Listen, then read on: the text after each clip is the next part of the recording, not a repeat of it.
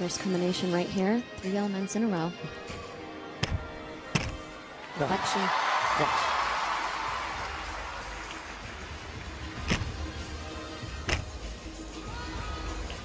And she was supposed to do those two leaps together with that pike back somersault.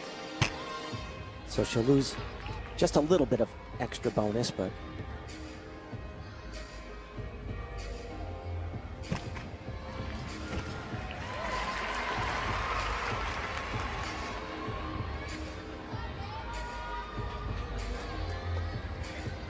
Nobody in the world has ever done a dismount this well. She could do an extra full twist. She doesn't need to.